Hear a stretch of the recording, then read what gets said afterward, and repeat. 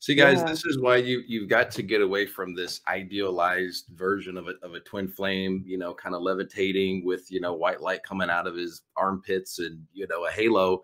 This is this is this is silliness because the the twin flame connection has to be painful enough to force you to do the work and get to a place where you say, "I'm sick and tired of being sick and tired, and I'm going to find my power."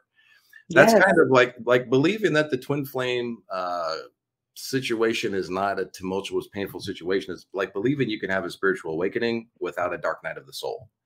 You have to have a dark night of the soul to mm. dissolve the old identity and make room for the new, more stronger, powerful version of you. Well, that old identity of who you thought you were has to go, and that's going to be painful. That's why you've got your twin flame. Very, very painful. And you guys, I always am gonna have like a very strong love for my twin flame. I've finally gotten to the point where I've allowed myself to let go of a lot of the resentment and anger and all those emotions that are very valid that I know you guys are all feeling.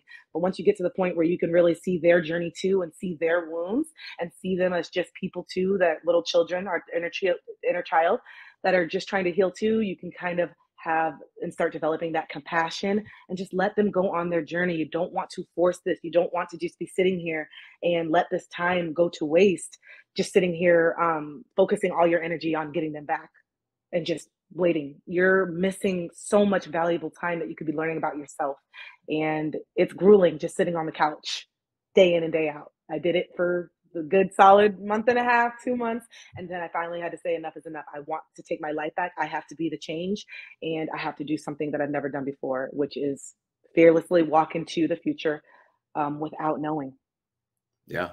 And would you agree that because you kind of hinted on this, when you do your own healing, it kind of gets you out of that bubble phase, and then you you see the trauma that your twin has to deal with. It kind of you know, makes them more of a person and not some idealized angel up in the sky, Yes. right? You take them off the pedestal and then you start to really, when you get, you start to think about the whole relationship as a whole, as a third party observer now, and you start to say, like, dang, I remember that. He said, they said this, that wasn't okay. Wow. Wow. When I was blaming myself about that, that was really a projection.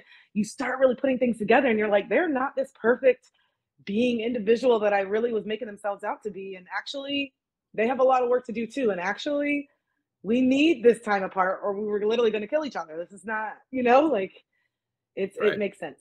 So just allow yourself the time and the space and let go energetically as well because even though you're physically not together, the energetic cord of continuing, you know, it it's powerful. And so just put it into yourself and see what happens. Promise. You won't be upset.